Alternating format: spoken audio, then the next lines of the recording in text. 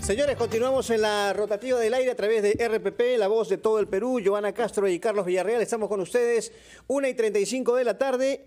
Eh, vamos a conversar de inmediato con el doctor John Tinco Bautista, director regional de salud de Ayacucho. Eh, doctor Tinco, ¿cómo está usted? Eh, muy buenas tardes nuevamente. Muy buenas tardes. a través de su medio, bueno, puedes expresar las condolencias para aquellos familiares que han perdido pues a sus seres queridos. ¿Cuál es la actualización, doctora, hasta el momento de las personas fallecidas y heridas?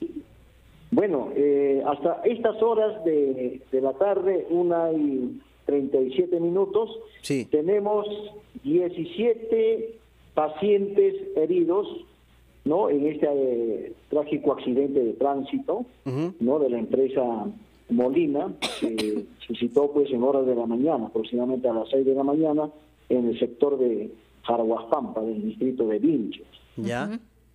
Eh, dentro de los pacientes heridos, eh, tenemos 16 que están en observación y uno se encuentra en trauma shock la cual, eh, bueno, yo acabo de venir del hospital, estamos monitorizando de acuerdo a la evolución del, del paciente.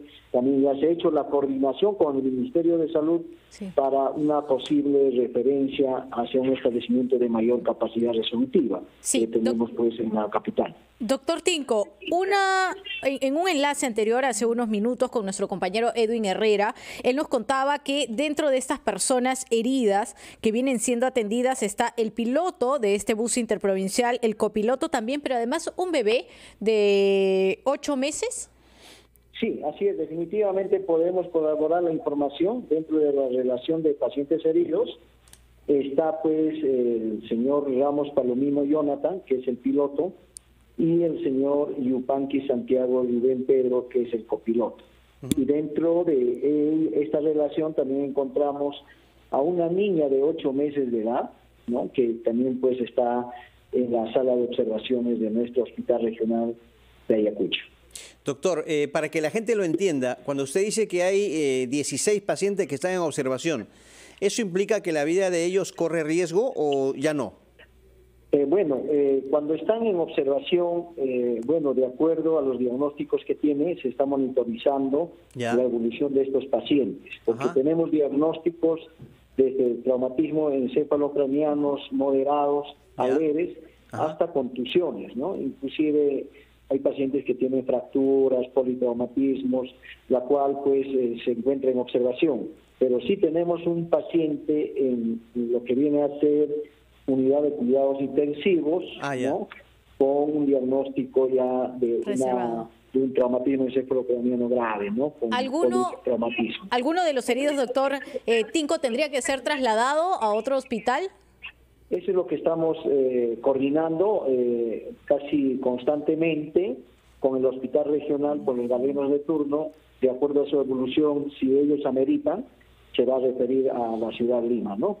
Ahorita están estabilizando, lo ha visto el neurocirujano, eh, que, ha, que indicado pues, que primero se estabilice y luego se ve la evolución de ese paciente. Doctor, eh, ¿usted maneja información sobre la, las personas fallecidas eh, en cuanto a números se refiere? Bueno, tenemos ya confirmado dos pacientes que en el transcurso de la evacuación del lugar de lecho hacia el hospital llegaron a fallecer, que son dos personas, en este caso de una mujer de 22 años de edad y también un caballero de 56 años de edad, ¿no?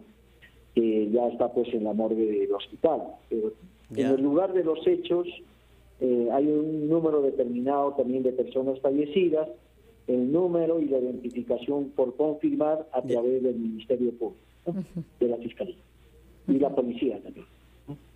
Doctor Tinco, ¿ustedes desplegaron algún tipo de brigadas hasta la zona o han atendido netamente en el Hospital Regional de Ayacucho?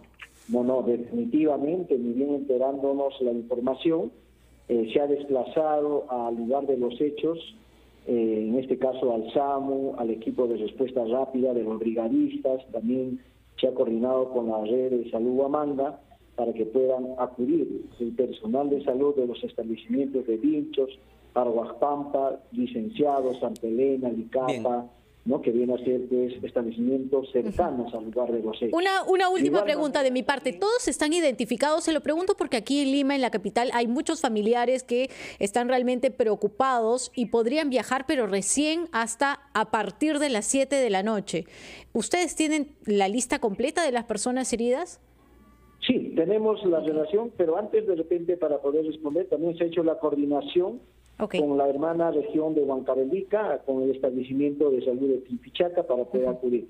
Inmediatamente, enterado de esto, se notificó a. Defensa Nacional de acá, de, de la región de Ayacucho, para que se active la plataforma regional donde se ha intervenido de manera multisectorial. ¿no? Participaron muchas instituciones. Muy bien, doctor John Tinco Bautista, director regional de salud de Ayacucho, muchas gracias por estos minutos dedicados a RPP. Muy buenas tardes. Ya, estimado amigo Carlos, ya, ya, ya señorita Joana, estamos en comunicación para cualquier información. o Gracias por la maneras, información. de todas maneras. Muy bien, vamos rápido con Jacqueline.